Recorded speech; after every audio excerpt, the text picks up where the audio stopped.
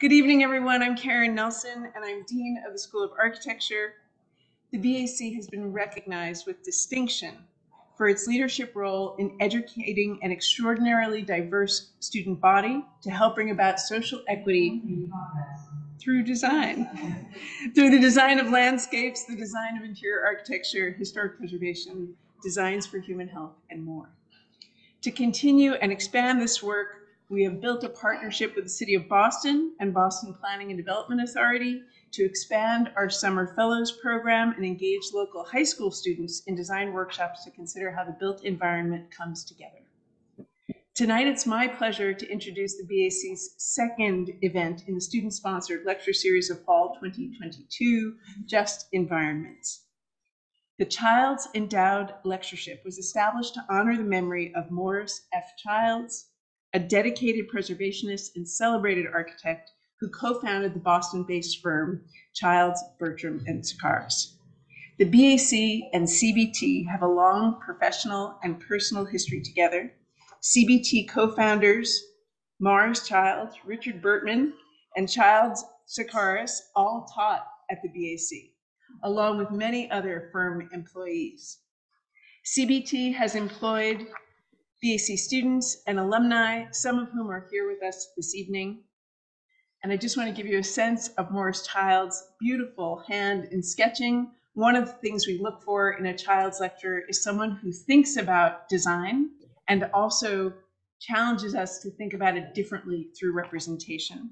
This endowed lectureship was created to honor Maury Child's commitment to design education and his lifelong contributions to the BAC and its students in perpetuity.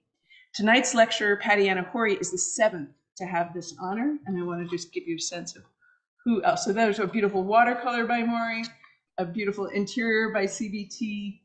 Um, here they are in 1989 on the Prudential Center redevelopment. They reached their 50 year anniversary in 2017. Our first Child's Memorial Lecture was Blair Kamin, architecture critic of the Chicago Tribune, Thom Mayne in 2017 uh, Merrill Elam and Mack Scogin. Then Craig Scott of Iwamoto Scott, who actually were part of Patty Anahory's thesis panel. Juan Miro, based in Texas. Yung Ho Chang. And now Patty Anahory. So I want to tell you a little bit about Patty. Whoops, I wasn't, that's what I wanted to keep up. Um, Patty Anahory is an architect working across building, art, pedagogy, and curatorial practices. Her interests center on interrogating the politics and narratives of identity and belonging across spatial practices and articulation with geopolitics, memory, race, and gender constructs from an African island perspective. Anahory co-founded Storia na Lugar, a storytelling and counter-narrative platform exhibited at the International Architectural Exhibition at the Venice Biennale in 2021. She is co-curator of Her, Here, Otherwise, an experimental platform that invites African and diaspora women architects to interrogate notions of representation and belonging. She served as co-founding director of CIDLOT, a research center at the University of Cabo Verde, she is a member of the board of academic advisors at the African Futures Institute, a Ghanaian School of Architecture with Lesley Lokko. She co-authored the forthcoming book Panorama de, oh, I'm gonna slaughter this, sorry, Arquitectura Habitacional in Cabo Verde, Panorama of Dwelling Architecture in Cabo Verde, and her work is featured in the new curator exhibiting architecture and design. You can see this in our library if you go upstairs tonight. Her work also appears in the Phaidon Atlas of 21st Century Contemporary World Architecture and in the forthcoming Bloomsbury Global Encyclopedia of Women in Architecture 1960 to 2015, and a RIBA publication looking at women architects across the globe. This year, Anahory is a member of a collective awarded a Graham Foundation grant in 2000, she won the Rotch Traveling Scholarship Competition, becoming the first Black person and only the second woman to receive the prize since its establishment in 1883. She holds a Master of Architecture degree from Princeton University and a Bachelor of Architecture degree from the BAC. Her undergraduate thesis, which you can also see in the library, holds many narratives about women and space and how correctional facilities often ignore female narratives by construction. Please give a warm welcome to Child Lecturer.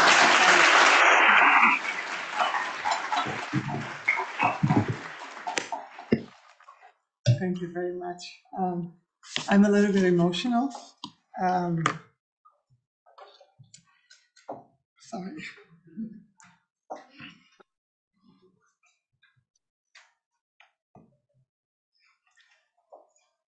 It's been 27 years.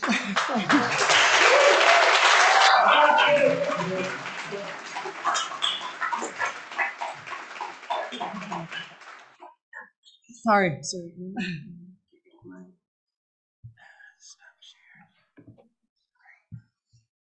Wow, this is the first. Uh, It's been 27 years since I graduated from the Boston Architectural Center, then called Boston Architectural Center, today called Boston Architectural College. Um, It's been a long time since I returned here, and this was a very special place for me. I also had the pleasure of teaching here uh, 26 years ago, so the first time I was teaching, and I taught first year design studio and also uh, thesis uh, design studio. So uh, I apologize if I'm a little bit emotional, but um, 27 years a long time.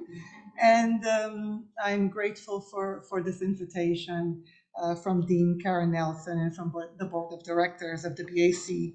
And I also thank the Maurice uh, Childs Memorial Lectureship for uh, making my uh, presence here today possible. I hope it's the first of of many uh, now that so much time has passed. So today I'm going to share with you a very personal journey uh, and one that was kind of catapulted from the BAC. We're having.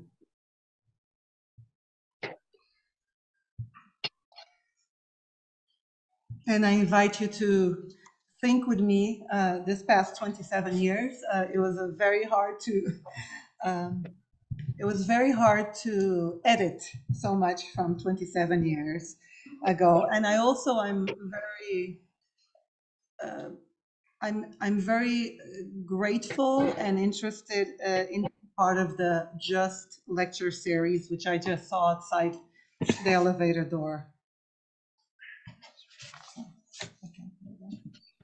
Technical difficulties as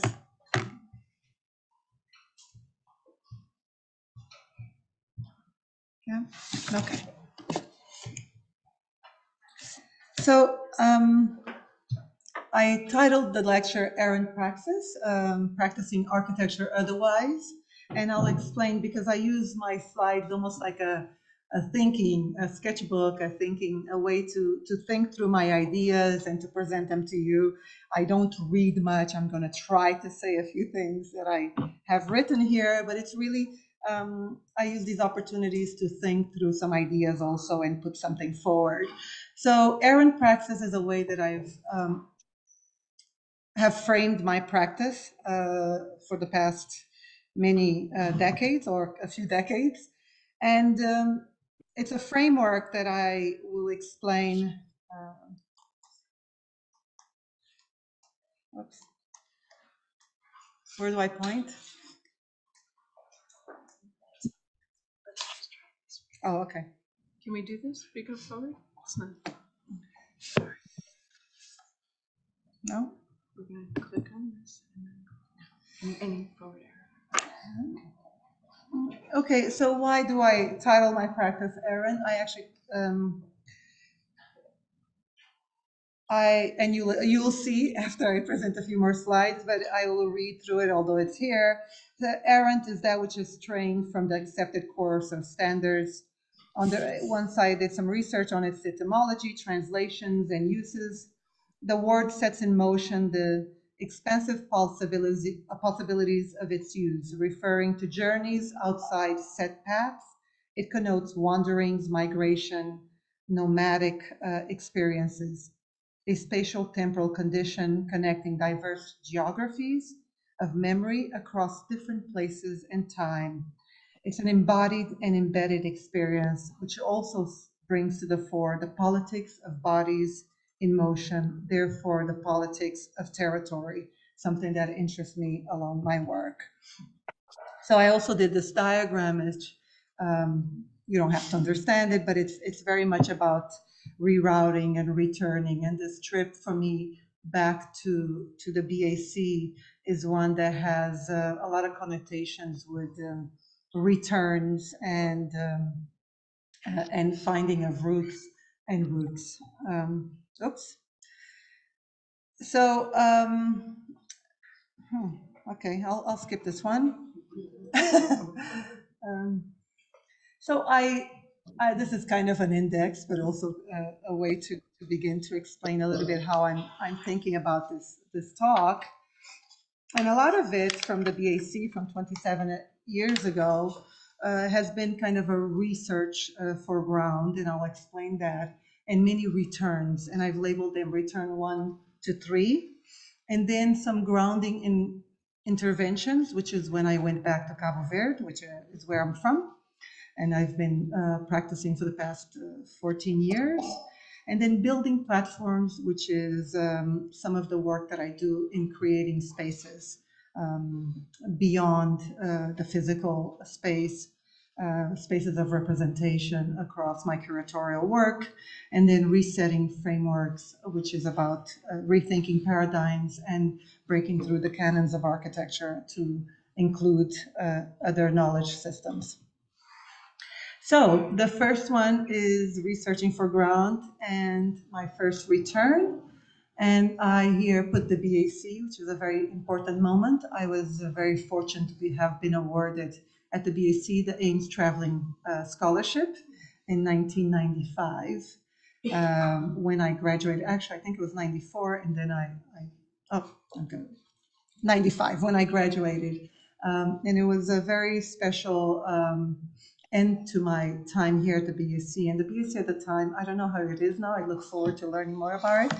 But the BAC at the time was a very special place for me and for many other of my colleagues because it um, it allowed us some flexibility to to craft our own education. I think that that was. Um, a blessing and quite a, an incredible opportunity for me and my colleagues at the time to take advantage of.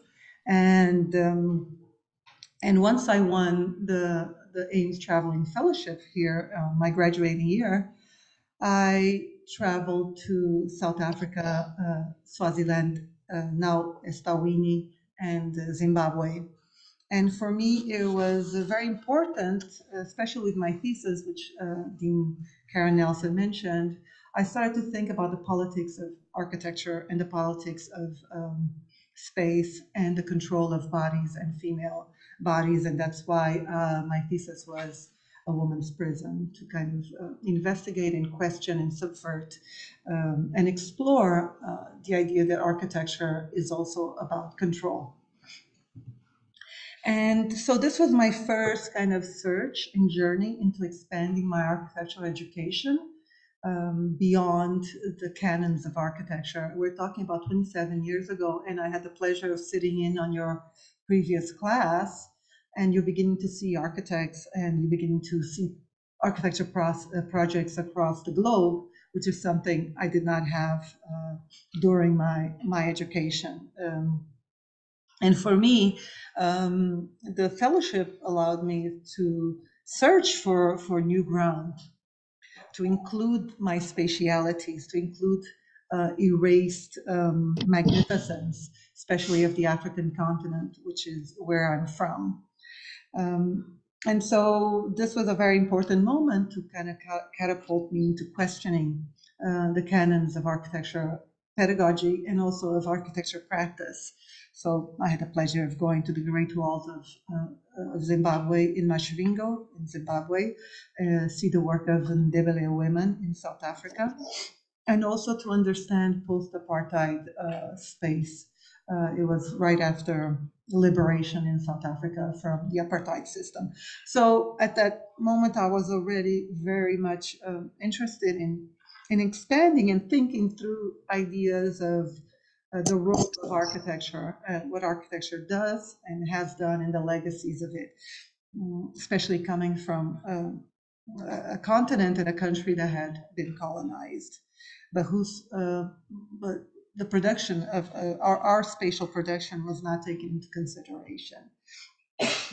I then went to Princeton, as, as uh, Karen also mentioned, and I continued my research and continued this kind of search for um, architecture, the politics of space, uh, the control of bodies, um, and throughout a, a few of my work there. And my thesis at, uh, at Princeton um, had to do with the homing landscapes and memorials and mapping memory, and had to do also with questioning um, these Hi, absent. I'm, I'm okay, but I'm watching a lecture. Uh, Hi, whoever's on Zoom, if they could turn. Well, I don't know, you know, a lot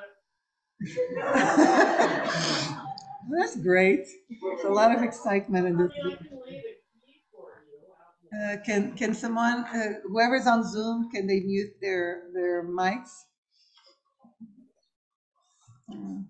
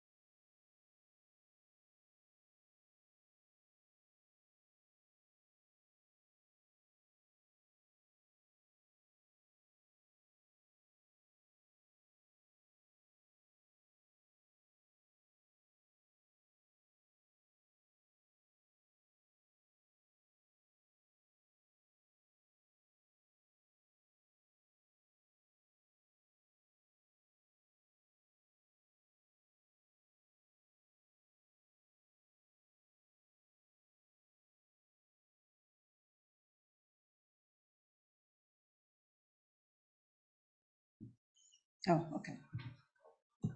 Hmm.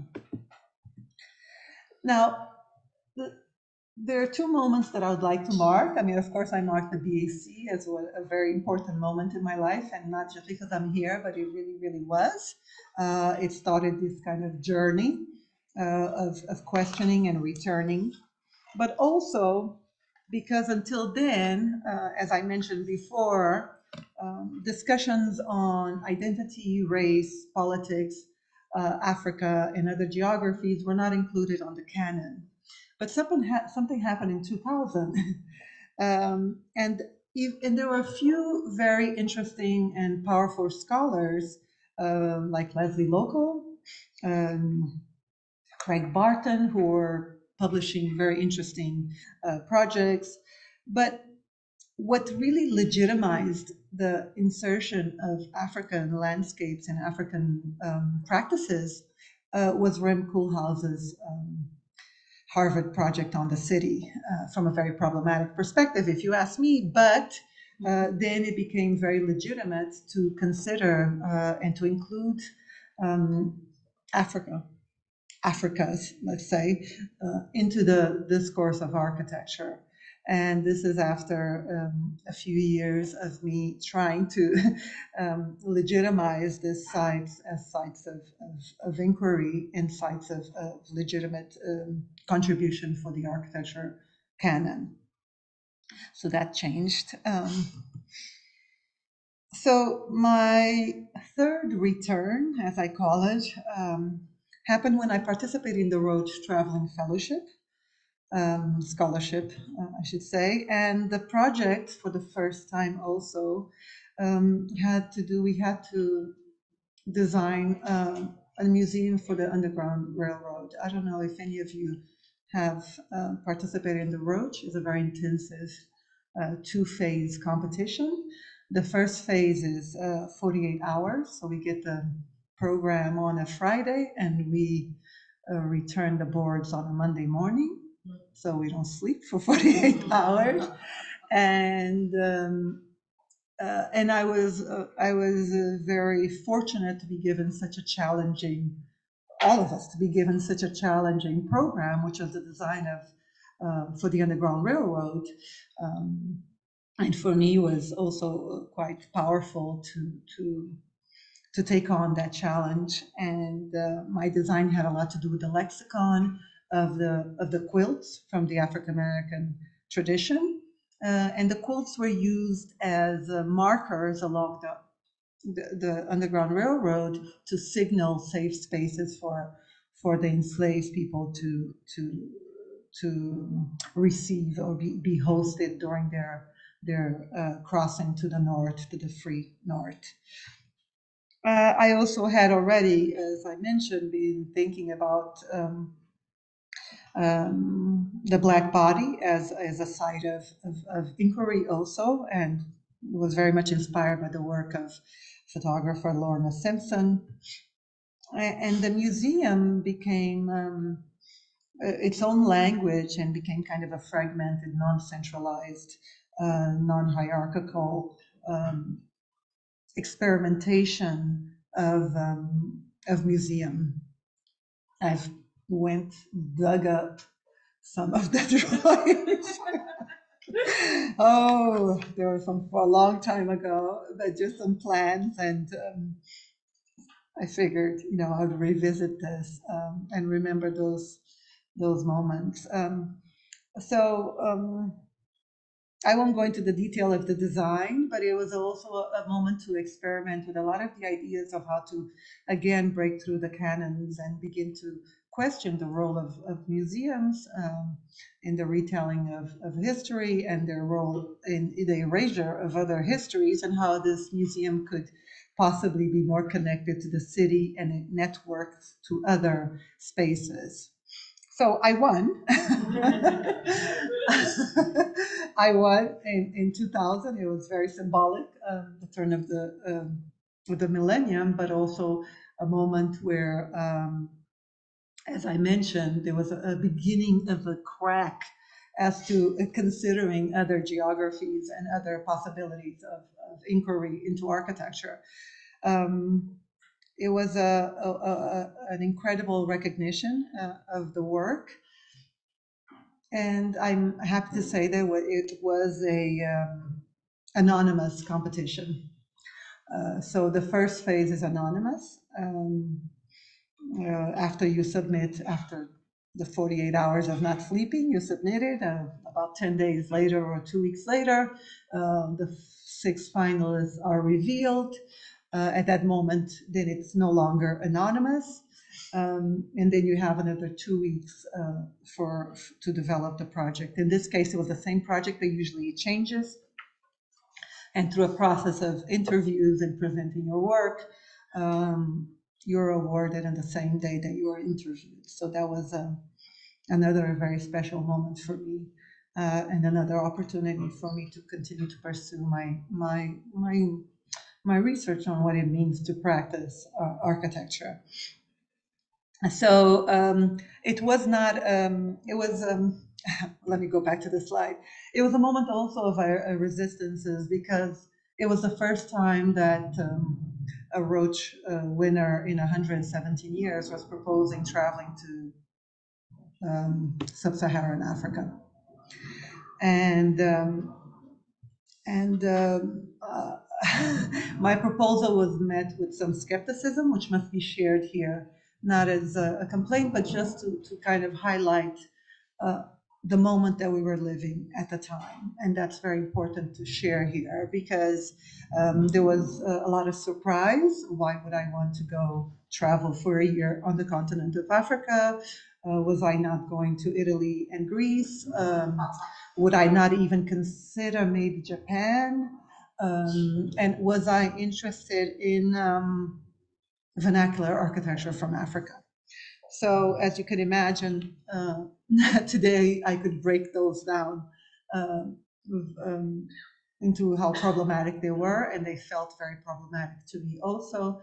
But um, I had one, and it was based on my competition and not on my my proposal for travel.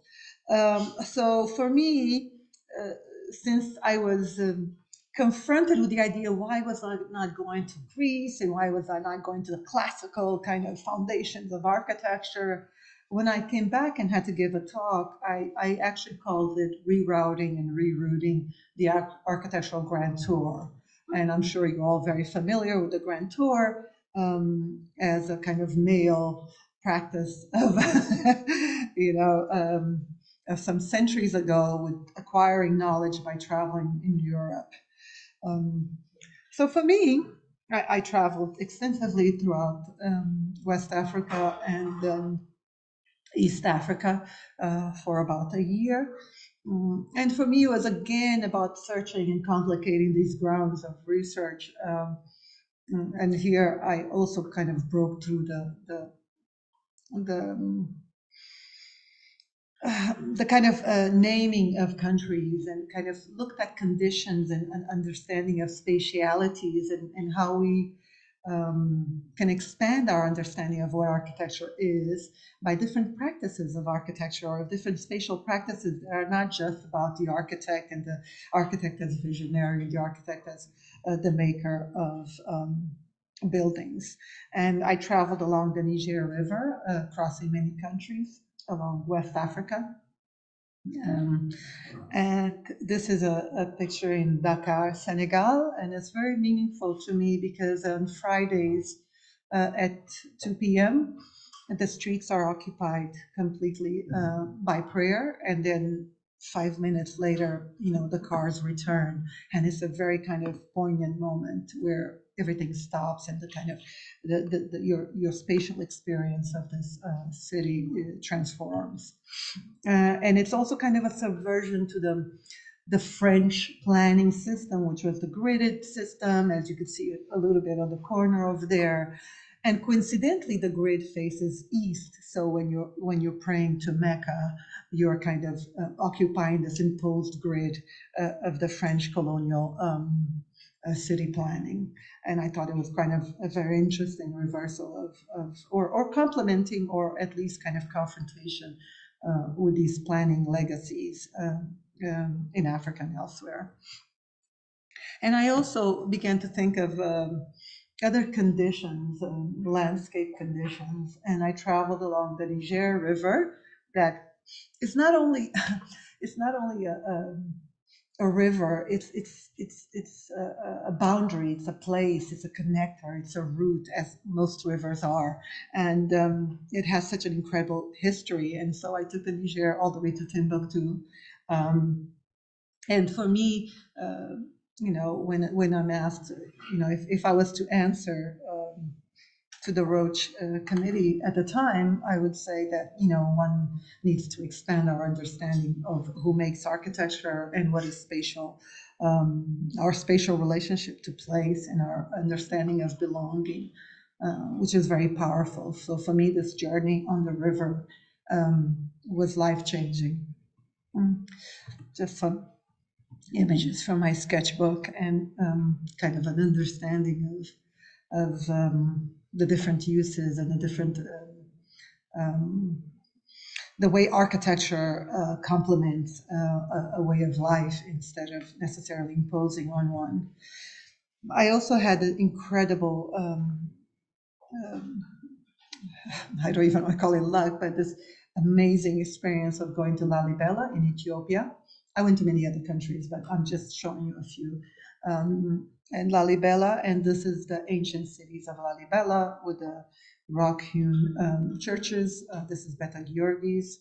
Um, it was an incredible experience. I was in the market. It was market day. Market day on the West African continent and the East African continent is a big day.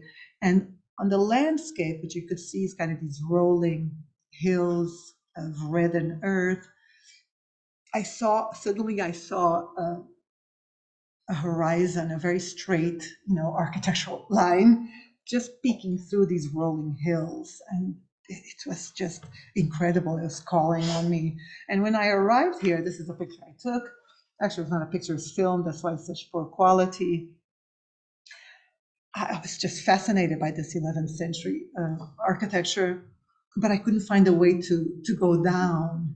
It was quite, really quite incredible. How do I go down the, the four, the three stories or four stories? And it's this really very, I don't, I can't believe I don't have the picture. I'm, I'm sorry. But you, the ground almost kind of is carved and opens up, and it's a little path that you begin to lose your horizon, and then you kind of arrive, and suddenly uh, you're looking up at where you were, as you can see the people there. Um, so these are incredible um, masterpieces of architecture that never were not part of my architectural training. And I must say, before I came to the BAC, I went to Pratt for three and a half years, and then whatever, how many years I was here, and I never, ever, ever, ever, ever um, even uh, had any reference to, to, to these architecture. So here's a a section through some of these churches that kind of negotiate ground in such a powerful way. Um, so again, uh, continue with this uh, idea of returns and turning around and repositioning myself in reference to the canons and finding kind of my ground. Uh, I went back to Cabo Verde, as I mentioned, um, about 14 years ago, and also had to confront other other uh, paradigms and had to kind of confront what is my role as an architect uh, at the University of Cape Verde, where um, it was our first public university in Cabo Verde. Uh, so it started about uh, 14 years ago. Um, and the, I was invited to be the director of a research center that they were um, starting up and confronted with uh, what, what is the agenda for a new research center in a post-colonial um, African country of Cape Verde, and what paradigms are we going to um, to think uh, to help us think through our current condition. Um, so it was an incredible experience to, to think about the, the legacy of even architecture education and not only because we don't have actually let me rephrase we don't have architecture at the university of cape verde so the research center was a multidisciplinary research center to think the territory you know to think to think our you know our condition um, uh, as a developing country as a poor country also um, on the west coast of africa and and what what the, the dynamics of, of rapid urban growth, um, you know, um, what what uh, the developed paradigms that we are imposed uh, from our, our, let's say, ideas of development. So it's a lot to think through. And it was a very important moment also because we begin to question um, how can we begin to create a, a space for critical thinking about our own condition um, so a lot of a, a, lot of lectures, a lot about you know uh, cities in the global south, about looking at paradigms that could shift uh, our imported um, thinking, because a lot of what happens is also we import a lot of the paradigms if we don't question them. Um, and, and so it was very much about it was a very special moment also in thinking through uh, from a from that perspective. This is a book that Karen uh, mentioned that we're putting out very soon, but it was it was a moment also of valorizing our knowledge system and of informing public policy. So we did a research on housing, uh, not housing, on dwelling in Cabo Verde and our practices of dwelling in order to inform public policy. I'm going very fast because I don't know, I don't think I have much time but at the same time, it's always like I think it's my way of, of working. At the same time that I was at university, I also began to think that the university has its tempo and has its time, and research takes a long time. And I also felt the need that there were urgencies in in my country that I wanted to to confront. Um, and one of them was the uh, actually, now I have to switch. Excuse me, I'm going to stop thinking for a minute. Where do I go? That video.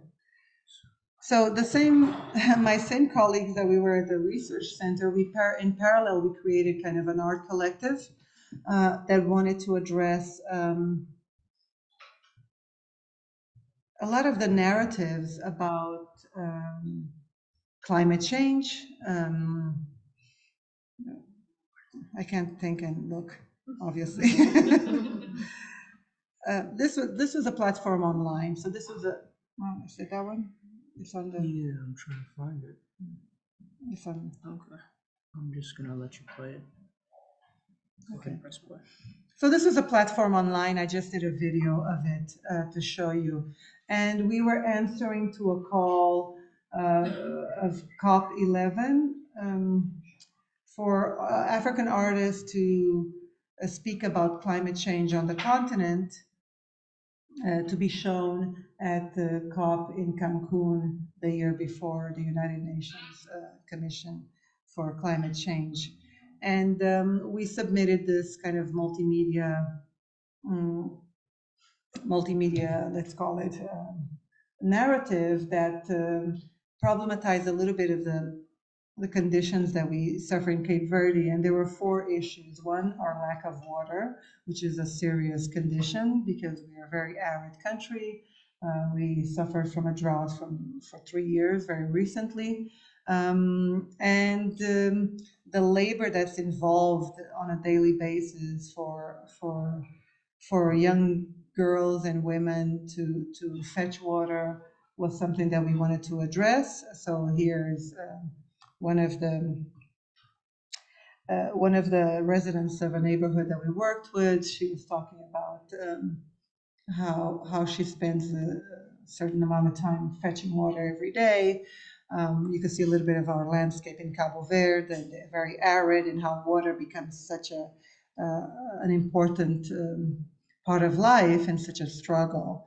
The other narrative was a narrative that um, uh, the poor population uh, extracts sand from our beaches for construction. And we were trying to kind of problematize that a little bit more also in terms of this kind of blaming of uh, a certain um, uh, sector of the society for environmental degradation when uh, our paradigms of development are so um, tied up to construction and to tourism. Uh, and the, the last one, I think here, they're, they're going, it's about tourism and uh, the kind of, uh, um, how can I say? It's about tourism in some of our islands and the impact, environmental impact that that has. So we, we were, we were kind of creating our own uh, counter narratives to the official narratives of, of blaming the population and giving voice to, to the complexities uh, of a society that's increasingly um, more segregated um, and also uh, reproducing a lot of the paradigms that, that are that are played out. So this was kind of parallel to, to my, my job at the university as director of the research center. I felt that there was, we, the, the language of, uh, let's call it the art language, the multimedia language, was something that was helping us address um, some of the concerns that, that were important to us. Um, I'm gonna stop it. It's gonna go on. It's it was interactive and and it was a way to to to highlight a lot of the also the gendered uh, labor issues and and and the and the young girls that were uh, also um, uh, played a role in in the construction industry. I think I go back. Can you help me go back? PowerPoint or the The? PowerPoint. Sure. Think this is where you left off. hmm And it's shared. Oh, let's yeah.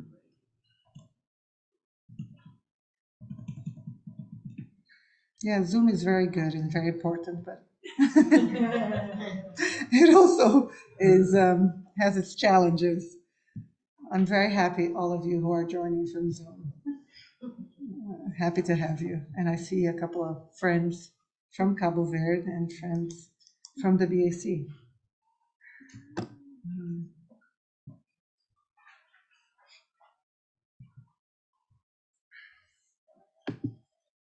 Do I get extra minutes for this? Um, Just, We're much further along, okay, I know I don't have much more time because I actually wanted to make this a conversation. Uh, So I'm going to go really quickly through whatever slides I have left. Um, But in this, in this, um, this kind of need to, to, to also confront uh, these narratives that were kind of closing us in, uh, both architecturally and also uh, socially uh, back home. Um, this was the first kind of experiment in, in a collective art practice, but also uh, in creating a space at my office and my partner's office for critical engagement with, with issues that we felt were important. So I feel that I'm always kind of working through and, and countering the very kind of, uh, in conversation, but also in, in, in contestation uh, with a lot of the official narratives and the institutions that kind of perpetuate these narratives. Um, and this is a very special project called Storia no Lugar. Uh, I would translate it Ungrounding Narratives, um, where my partner and I, he's a filmmaker and a, a video artist, and I'm an architect. And we wanted to, again, in following up on, on my experience at the university, was to, to really tackle and, and connect more closely to communities that were being marginalized in our small cities. Uh, and we worked with children, and, and this is our platform, storytelling counter platform, counter narrative platform, Storia no Lugar. Um, and this is a little bit about us. And our first, um, there's actually a way you can go to our website. Um, and and the projects that we we're doing and we did a um, oh now i went to the i shouldn't have gone to the website now i can't go back but we we treat we treat each one of these as kind of case stories um, that deal with the dynamics of of um, okay now I'm, okay i'm here. Yes i did it. I'm not going to go in it. I think we have very little time. I want to open the discussion. But again, this kind of parallel work uh, on, on, on, you know, thinking of what my role is as an architect and to think through uh, spatial uh, conditions uh, across social and political um, understandings. Uh, now, this is the project at the Biennale. I'm going to go really, really quickly um, through it. But Cabo Verde, are, uh, we're 10 islands, nine inhabited. as I mentioned before, water is a, a big concern for us. It's very arid landscape but three of our islands are being developed or have been developed as kind of the tourism, the backbone of our economy, and we have a, a great deal of reliance on that tourism.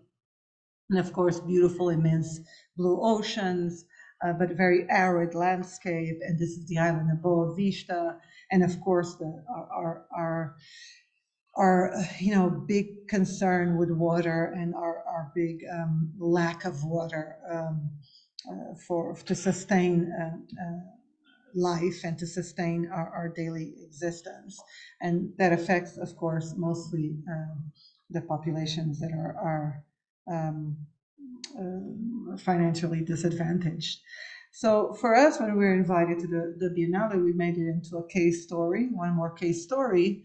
Uh, and we wanted to work with these resorts that have extensive pools of water. They look small, but that's because it, it's a very it's a drone photo from very far away, but that roll out these immense pools of of of water and, and play on this narrative of a country, uh, a marine country full of uh, beautiful blue water and pools. But that, and then the infrastructure, so it's kind of a critique, as, as I told you, we, we do these kind of counter narratives. The infrastructure is all kind of made for these future resorts, as you can see, asphalted roads and already um, a roundabout for a possible future uh, resort when the majority of the population is still struggling with infrastructure, uh, access to infrastructure. Again, the very arid landscape, and then the extensive pools of water. Um, so for us, also the participation at the Biennale, those are uh, spaces of um, recognition, validity, uh, valorization, but also very difficult spaces to, to participate in that discourse. Um, and our installation used the water bottle as kind of the cipher and the, the unit of value to begin to question landscapes and problematize uh, the idea of this uh, this blue blue uh, country that offers so much blue for consumption. Um, so we had um, some a very large installation of a, almost a thousand water bottles uh, hung from fishing line. Mm, uh, and everything was was recycled and recyclables, which was very important to us. With our participation, that we would not uh, contribute uh, even more to to to to an impact um, from the from the garbage of our installation. Um, so some photos. Um, so I think I'll wrap up because time is going right. Um, I'm not going to show you this project, but it's another one that I did an installation in a, a prison camp in Cape Verde. Um, very briefly, also in this narratives of memory and memorializing, we were kind of ignoring a lot of the population that had occupied uh, most of the grounds of the administrative, um, the administrative grounds of the of the former prison. Um, um, so it was more working with the community and working with the children again to to to retell this story and to incorporate them in this memory making of this museum. Um, so uh, I uh, again working with the children and and contesting a little bit of of the invisibilization that they were uh, going through by um, by the new project for for turning this space into a museum. Mm. I think I'll, I'll leave it here with some projects and I'll open up for discussion. Thank you very much.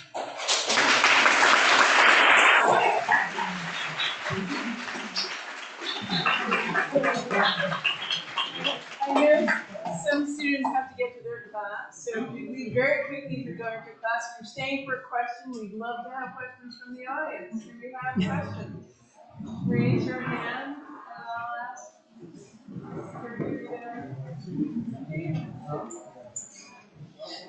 That's me. Oh, thank you. Let's go. DeAndre, is that a question? Yes, it is, before any of these folks want No, no, you guys we're still in lecture for those people who are saying, so have a seat. That's fine, sure, quick. Yeah, No, Come. it's like, it's three seconds. I just want to know. Well, Test.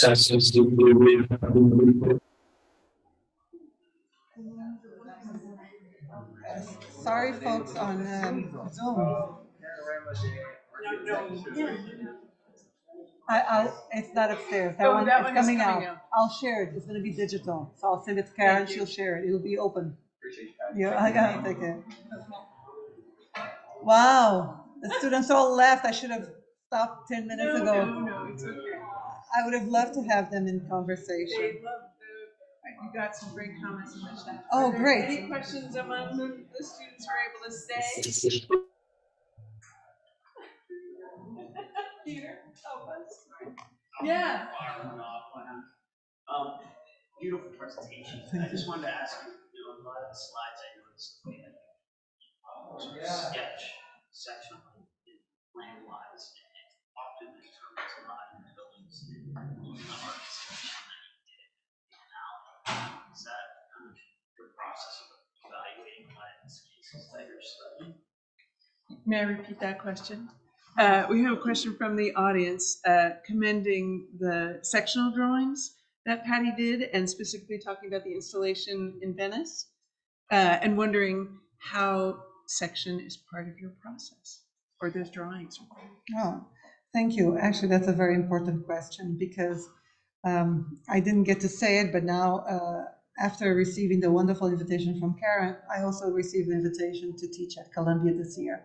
So I'm visiting professor there. And it's interesting. I just wanted to fold that in because um, I'm, I'm having the students think of section and section beyond the kind of just the architectural section and finding your ground, right? Because I mean, the section is very much about relationships, and I do work a lot in section. If you see uh, my thesis project from from from 27 years ago, a section is very important because I think it reveals a lot and establishes relationships or kind of problematizes them. So definitely, uh, I'm more of a sectional thinker. I mean, a plan is a section, as we know, but section for me is is a mode of inquiry, and and it it cuts across. I mean, uh, excuse the pun. It cuts across many issues, and then once you establish your ground, which it could could be what is your ground, then you could begin to unfold what what the question is and what your inquiry is. I, I hope I answered it. Mhm. Other questions? Yes, yes, and thank you so much, this was spectacular. Um, my question really is about your, um, experience in, uh, in Africa Mhm. and coming from an island, like it Mhm. feels so different to have chosen to go to this enormous place when your life really is on this island. And I'm just curious about the differences you learned about where you live now versus your trip through So the question is, since Patty is from an island, how different it was to explore the vast continent of Africa from an island perspective and feeling, you know, the difference between those two scales. Um, actually, the first drawing that I showed, which I didn't explain, uh, is a little bit of a, a very personal drawing because I was born on a ship. And so when I speak of horizon and ground, they, they are very much embodied questions for me.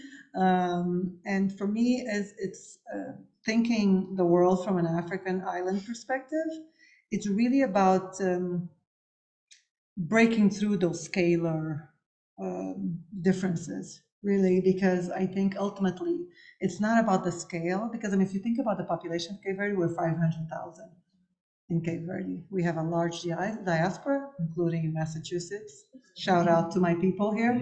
Um, uh, but um, it's um, it's when we to me it's more about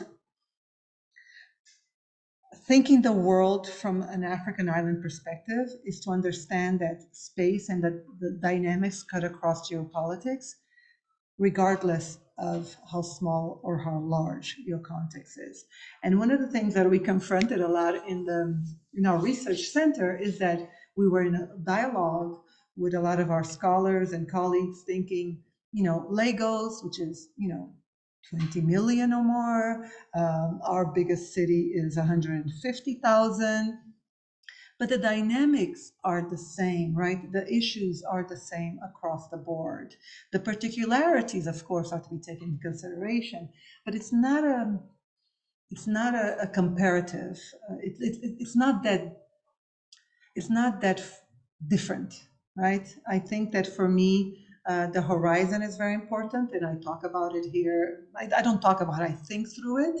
For us as islands, the horizon is both a space of possibility, and especially as a as a, a- country with a large diaspora, the horizon has a lot of meaning for us uh, as both a kind of entrapment, but also as possibility. So it's always this kind of dual dual. That's my interpretation. It it, ha- it holds possibility of, of of leaving and returning because um, um, it's very much about leaving, but also returning. So traveling, yes. I mean, I do. I remember when I traveled, and I traveled a lot by land. When I went to West Africa, I traveled for like from Niger to Benin to Togo to to Ghana to Burkina Faso to Senegal uh, to Mali, all by land. And yes, it's it's it's it's, it's very humbling to be in such a, uh dramatic and incredible expanse of continent. Um, but I also consider our islands part of it, and I think that when I speak about Africa, I always call it African the continent, its islands, its diaspora, and its imaginaries. So to me, it's it's much it's much greater than its continental shell. So yes, it it, it was uh, incredible to be on the river for two days to reach Timbuktu, or more than for two days. Yeah.